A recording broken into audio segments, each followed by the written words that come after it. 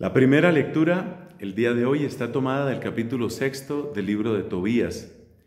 Entre otras cosas, este libro nos presenta lo que podríamos llamar una historia de amor, sobre todo el pasaje de hoy, que nos muestra el encuentro, la boda y la manera como se unieron Tobías y su esposa llamada Sara.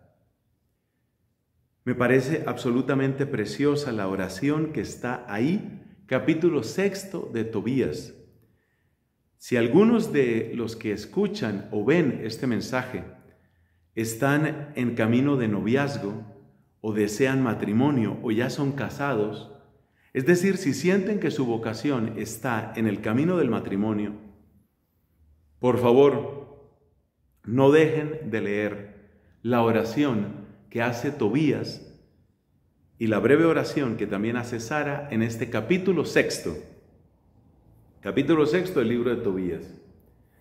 Se trata del momento en el que ellos van a consumar su boda, es decir, van a unirse en la intimidad de su matrimonio, intimidad de sus cuerpos, pero que va precedida, y aquí empieza lo más bello, que va precedida por la intimidad de sus almas.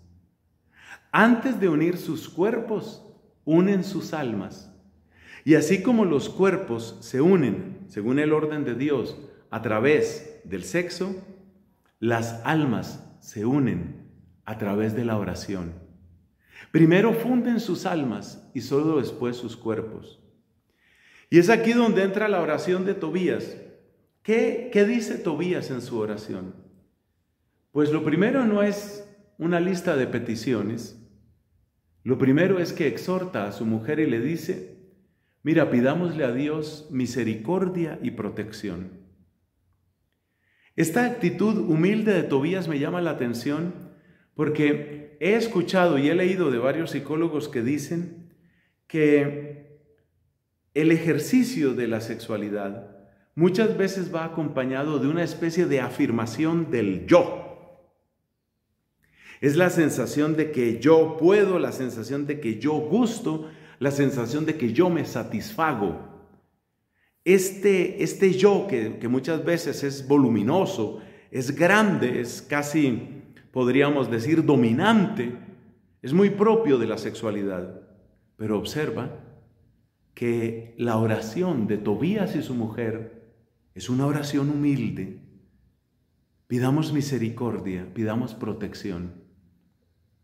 Esa es la manera de acercarse a una sexualidad santa.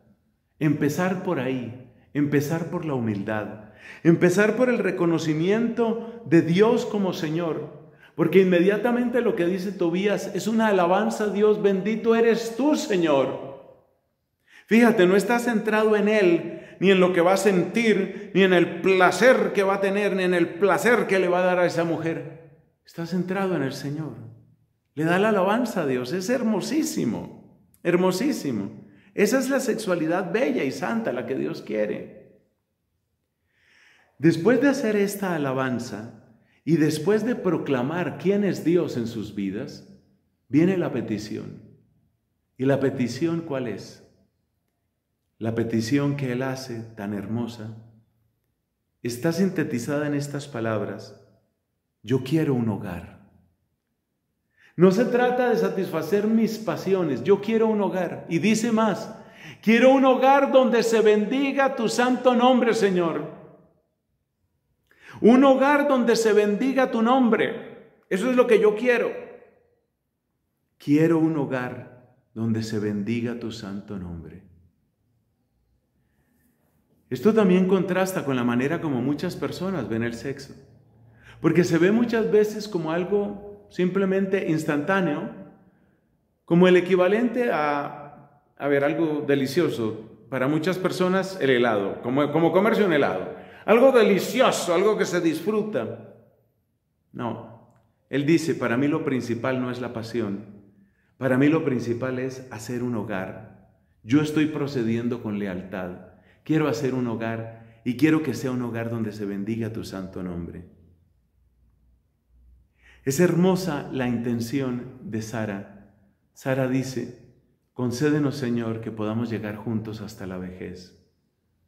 También ella está pensando en una verdadera unión que incluye la fidelidad, la donación, la entrega, la paciencia, el perdón, todo lo que implica, todo lo que trae ese permanecer juntos. Una gran lección, una tremenda catequesis sobre lo que es verdaderamente el matrimonio. Bendito sea Dios.